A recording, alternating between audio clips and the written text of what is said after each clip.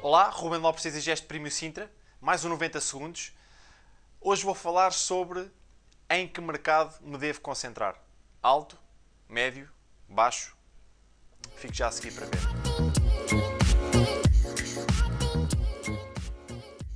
Várias pessoas me perguntam que tipo de mercado devem trabalhar. Na minha opinião, devemos estar adequados na imobiliária onde nós estamos a trabalhar. Ora, se eu tiver uma imobiliária onde o mercado é nitidamente, onde o nicho de mercado é médio-alto, eu vou ter, ter mais incisão na angariação de imóveis uh, acima de 500 mil euros, 400 mil euros, por aí. O que eu aconselho a fazer e o que eu tenho feito a minha vida toda é trabalho todo o tipo de mercado. Tenho um foco neste momento no médio-alto, na Exigeste Primo Sintra estamos a, a focar-nos muito no, no, no médio-alto, temos serviços para tal neste momento, mas também trabalhamos o médio-baixo, que é isso que nos mantém também ativos, porque o mercado médio-alto é muito mais lento e muito mais difícil de trabalhar.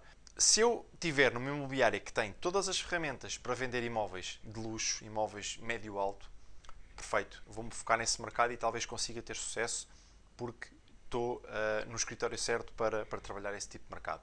Se tiverem numa imobiliária que trabalha nitidamente médio-baixo, convém ter os imóveis também médio-alto, mas não se foquem e não percam muito tempo, muitas energias e muito do vosso tempo a angriar imóveis uh, médio-alto. Porquê? Porque não é o core business da, da vossa imobiliária.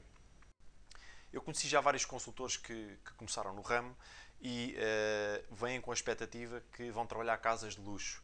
Uh, é mais atrativo trabalhar esse tipo de mercado?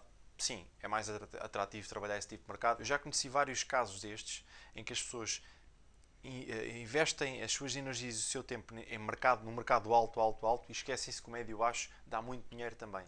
Espero que tenham gostado. Uh, este foi mais um 90 segundos. No próximo episódio vai ser um tema muito, muito interessante. Se gostaram, metam gosto, subscrevam o, o meu canal e, e partilhem.